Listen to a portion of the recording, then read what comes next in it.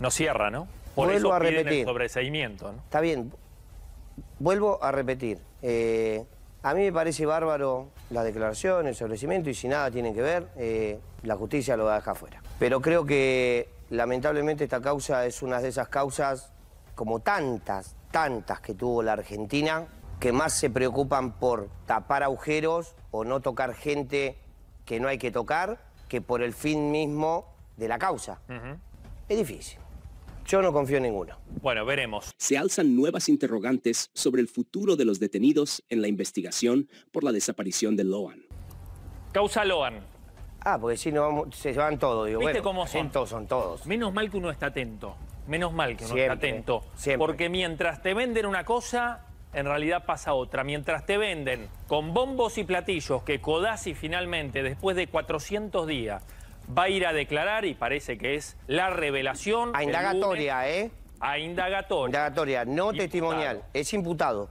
Imputado. Puede Imputado. quedar detenido, ¿no? Y si no sí. cierra lo que dice, sí, puede claro. quedar detenido. Pero mientras todos te venden eso, al final, ¿qué va a pasar? No va a quedar detenido. Nada, va a ir a ¿Qué? mentir como sabe mentir. No como va a todos quedar mienten. detenido porque vos, a ver, vos cuando vas a indagatoria, eh, no quiere decir que terminar la indagatoria te pone los ganchos y va. No, va a ser. eh, la va a pasar en, en la Va a calle. contar lo que contó acá.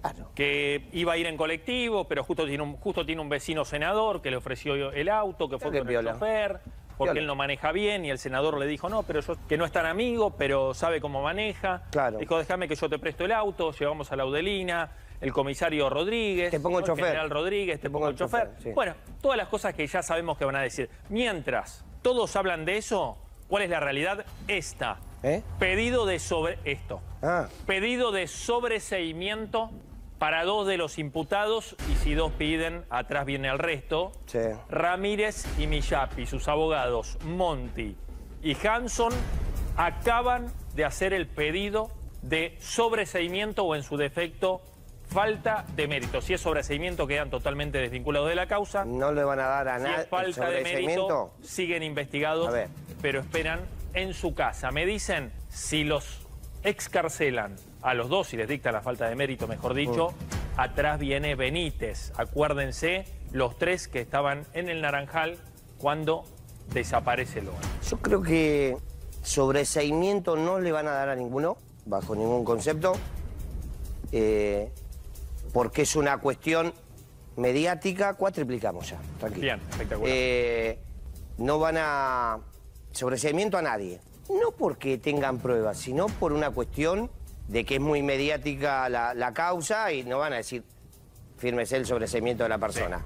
Eh, van a tirar la falta de mérito seguramente, porque la verdad es que no hay tanto, por lo menos para Comillapi y, y Ramírez, eh, y seguramente pasarán el proceso en libertad. El proceso en libertad. Después en el día del juicio oral eh, se verá eh, qué es lo que resuelve un tribunal, que no va a ser la, la doctora Poser Benson, ni los fiscales estos, sino que el juicio oral lo agarran otros jueces. Y ahí es donde te van a decir, che, los autos, ¿estaban fajados o no? Chao, la, la prueba de, del olfato afuera. Eh, che, los celulares. Todo. Los celulares. Ah, no, lo que pasa es que Rodríguez sin querer por error involuntario lo abrió, jugó, no sé qué pasó. Ya afuera también los celulares. Es decir, van a empezar a aparecer un montón de, de- de- de nulidades o, o de planteos de nulidades que en un juicio oral son irresistibles.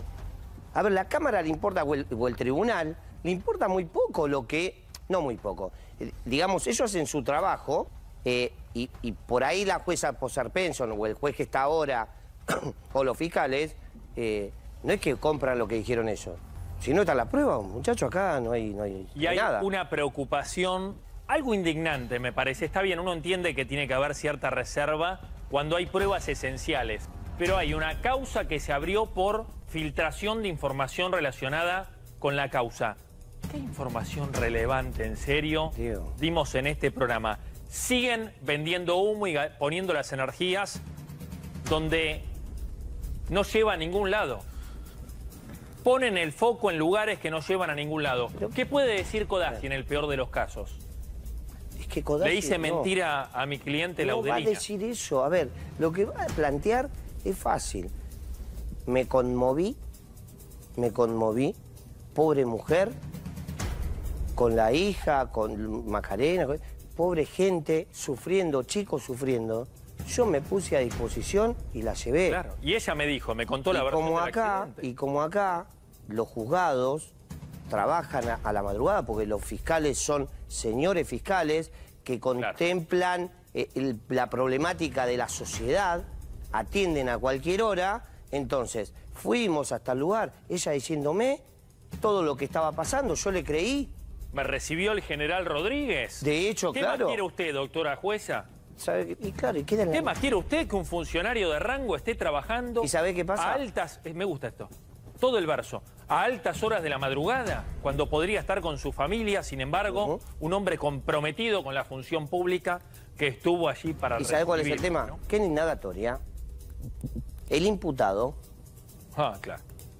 no puede declarar eh, contra sí mismo. Claro. Es decir, es el primer acto de defensa que tiene un imputado, la indagatoria. Es decir, no puede decir, no va a decirte nunca, o te van a decir que sí, pero eh, en tu primer acto de defensa, vos vas a acomodar la jugada como te sirva a vos. Y no se le puede decir, ah, falso testimonio. Obviamente, puede. eh, por ahí, si lo hubiesen citado en su momento a testimonial, Vos de la testimonial lo frenás, le decís, hasta acá, caballero, no hable más. A partir de este momento vamos a pasar a indagatoria, se avisa al defensor oficial, tiene defensor particular, que es zaraza, zaraza, y se ve. ¿Por qué? Porque entró en contradicción en esto, en esto, en esto, de testimonial a indagatoria. Pero así, indagatoria directa. Hace más de tres meses Sí. sucedió el episodio. Mirá si no tuvo tiempo Sí. ¿no? para pensar una coartada, tanto él como Rodríguez, como el, digo, ponerse de acuerdo con el fiscal general eh, de Corrientes, justamente para, bueno, dar una versión que no los comprometa, ¿no? ¿Por qué ahora y no antes? Eh, pregunto, es que vuelvo a hacer la pregunta, ¿no? Porque nada contra la salud de la doctora Posarpenso, que se recupere pronto, pero qué casualidad, ¿no? Cuando la subroga otro juez, en este caso, un juez que según me dicen responde a otra línea política Está o bien, está pero- alineado con el ex gobernador Colombi, bueno, decide avanzar. Está bien, pero la indagatoria la toma Poser Penson, ¿eh? Te decía, Sí, dale. la que va a tomar la indagatoria es Poser Penson, ¿eh? Sí, No es que la tome este por juez. decisión, por No. pedido del juez. No, no, no, no, no. fiscal. No, no. Porque podría haber desistido la magistrada. Yo creo que puede desistir. ¿O no? No sé. Sí, em, algunos esperan que haya un giro en la causa, no el lunes. ¿Qué vuelve, Loan? Claro, no. Ah, entonces lo mismo. Lamento decirles que este hombre que vemos en pantalla, este, Codazzi, el flamante abogado de Cositorto, no sé si cerró al final. Hablemos con Rafa Palacios, a ver si, si tiene información, sé que tiene información de primera mano. Este hombre no va a decir nada, Yo creo que va a decir, pero... nada que lo comprometa, ¿no? Es Ni que- comprometa a nadie. A ver, yo creo que eh, él lo que va a plantear es, miren, yo en la causa no estaba, no tenía la menor idea, yo cuando me entero lo que me dice Laudelina a mí es que hubo un accidente, que atropellaron con una camioneta a una criatura, eh, y se va a mantener en ese dicho, no va a decir, che, eh, yo le hice inventar. Obviamente, claramente no le va a decir eso. Por más, no sé si pasó o no pasó, no importa. Pero no va a decir eso. Él lo que va a hacer en, la indagatoria es lindar de responsabilidad directamente a la Laudelina. Yo acompañé a una persona que quería denunciar. Punto. ¿Querés que leamos la versión Sí, claro. el planteo del caso, es decir, la teoría del caso, mejor dicho, el, lo que para Hanson y Monti, en base al, te- en base al testimonio de Ramírez y Millapi, pasó el 13 de junio, el día Mm. del almuerzo, porque ellos presentan la teoría del caso, dan su versión de los hechos, hablando mal y pronto, y luego piden el sobreseimiento. Sí. Plantean, digamos, básicamente para decir, mis clientes estaban en este lugar, cumplieron determinada función y de ninguna manera tuvieron que ver con la, con la desaparición de Loan. Estaban todos los 11 comensales, eran si mal no recuerdo, y dice, ya iniciada la sobremesa, todos habían comido esa suerte de guiso que sirvieron con fideo, carne y otro- otros, otras verduras, ya iniciada la sobremesa, y después que algunas de las mujeres adultas, hay que leer entre líneas acá, a ver hacia dónde dirigen la sospecha, ¿no? Mm. Hanson y Monty, hay que decir Hanson hasta acá, el abogado más serio y por algo pide el sobreseimiento la falta de mérito para sus, para sus clientes. Algunas mujeres adultas procedieran a levantar los servicios y su lavado. Benítez invita a Ramírez a buscar naranjas de los árboles de la tapera de Caballero, un vecino, lo que se conoce hoy como el naranjal. Puesto que según sus dichos había gran cantidad y el objetivo era llevarlas para consumir en el pueblo. Al final no había ninguna naranja. No. No en el naranjal, pero Benítez le dice a Ramírez, vení que hay un montón de naranjas. Es así que se hace de una bolsa de arpillera blanca para guardar los frutos que recogerían, bolsa que nunca apareció. A eso responde Ramírez que estaba muy lleno, toda vez que repitió la comida servida y también habían comido mandarinas de los árboles existentes en el patio trasero de la casa de la abuela Catalina. Había mandarinas ahí nomás. Digo, ¿para qué te vas a ir a 800 metros, no? Para ir a buscar naranjas. Si ya había mandarinas muy cerquita y ya las habías comido. Benítez se va por delante hacia ese lugar y al terminar la limpieza de los servicios, la señora Millapi se acerca a su marido, quien le comenta que iría donde lo invitó Benítez. Es así que Millapi también decide acompañarlo. Al salir por el pasillo lateral del lado norte de la vivienda y ya en el predio anterior del frente este de la misma, los chicos que jugaban en el predio, como todo niño, preguntan dónde iban y se suman a la expedición. Dato importante este, ¿no? Porque no es que ni Benítez, ni Ramírez, ni Millapi invitan a los niños, sino que los niños, según dice la versión de Ramírez y Millapi, se suman al grupo de adultos por motus propia. Lo propio hacen Camila Núñez, junto a su hija menor, y Laudelina Peña, quien lo hace con su hijo menor varón, e invita a su sobrino Loan. El primo de Loan es quien lo invita, y no Laudelina, ¿no?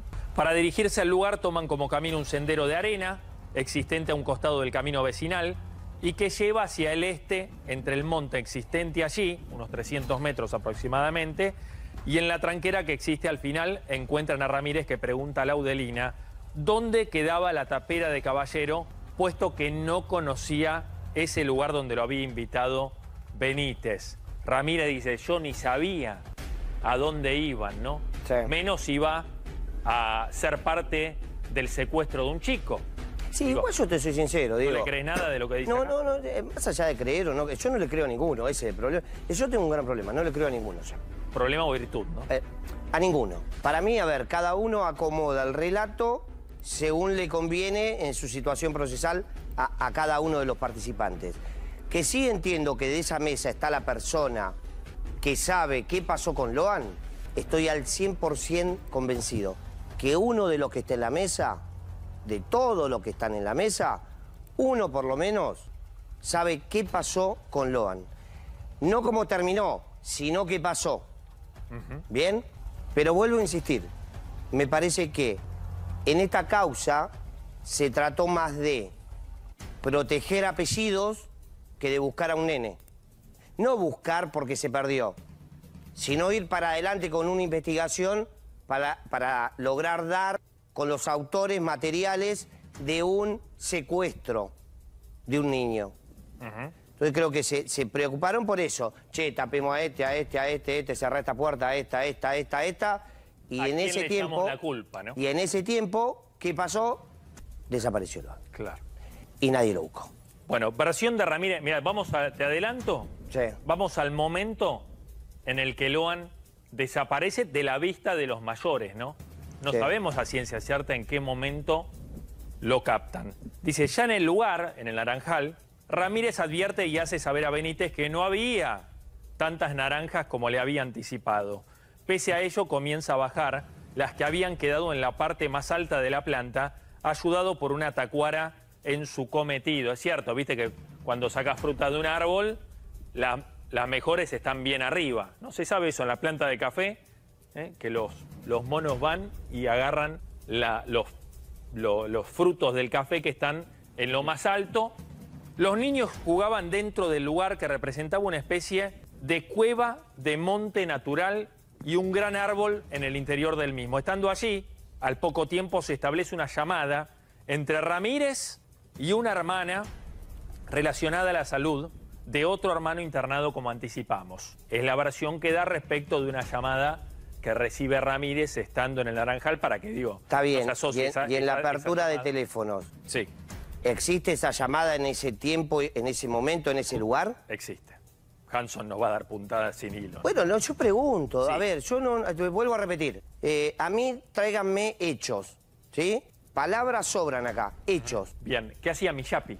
Mientras Ramírez hablaba con un familiar respecto a la salud de su hermano. Comienza a poner atención a esa llamada y más preocupada por la forma en que podría reaccionar su marido ante una eventual mala noticia, y ahí aclara, dicha llamada fue a las 14.09 y duró alrededor de nueve minutos.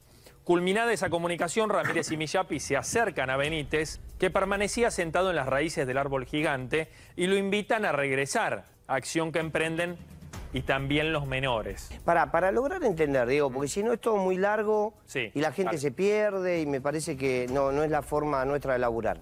Ramírez y Millapi, ¿por qué llegaron al, almuerzo ese? ¿De parte de quién? Invitados por Benítez. Son amigos de Benítez. Son amigos de Benítez. O eran, ¿no? Después que terminaron así. Vos decís entonces, a ver, déjame pensar. Sí. Ayudemos, eh, eh, ayudémonos entre todos. Es decir, vos crees que Benítez, si tendría algo que ver, lo llevó a ellos como para entorpecer, para, para que haya más gente. ¿Para qué, ¿Para qué lo llevó? Para llevar a los chicos, para hacer ¿Y voy a llevar testigos de un hecho que va a pasar? ¿Voy a llevar testigos? No cierra, ¿no? Por Vuelvo a repetir. el sobreseimiento, ¿no? Está bien.